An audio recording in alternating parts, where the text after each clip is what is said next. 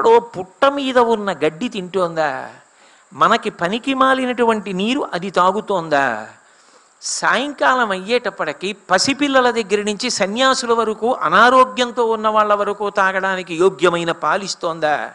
ఆ పాలతో అభిషేకం చేస్తే ఉత్తరగతులు ఇస్తోందా ఇంత గొప్ప పాలని ఈ ఆవు ఎలా తయారు చేస్తోంది? అసలు ఇంత గొప్ప పాలని తయారు చేయగలిగిన నిర్మాణాన్ని ఆ వ్యవస్థని ఆవు శరీరంలో పెట్టినవాడెవరు? ఎవరిలా దీన్ని తయారు చేశాడు? నేను ఒక్క రోజు ఎక్కడైనా మలినమైన నీరు తాగితే రెండో రోజు కడుపు గొడగొడలాడుతుందే. అదే గడ్డి తినేసి ఎక్కడో ఏదో కాలవలో ఉన్న నీళ్ళు తాగేసి పాలిస్తే తల్లి లేని పసిపిల్లకి పట్టుకెళ్ళా పాలిస్తే పకపకా నవ్వి ఆరోగ్యంతో పిల్ల వృద్ధిలోకి వస్తుందా? ఈశ్వర పైకి పశు శరీరంలా కనపడుతోందా? ఇంత అద్భుతమైన పదార్థం దాంట్లోంచి వస్తోందా?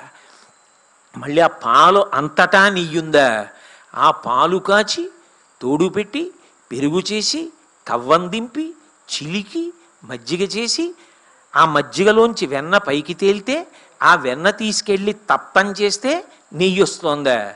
పాలలోనే ఉన్న నెయ్యి పరిశ్రమ చేస్తే తప్ప కనపడకుండా చేశావా? బహుశా సాధన చెయ్యకుండా నీకు విశ్వమునందు విశ్వనాథుడు ఎలా కనపడతాడని చెప్పడానికి ప్రక్రియ పెట్టావా?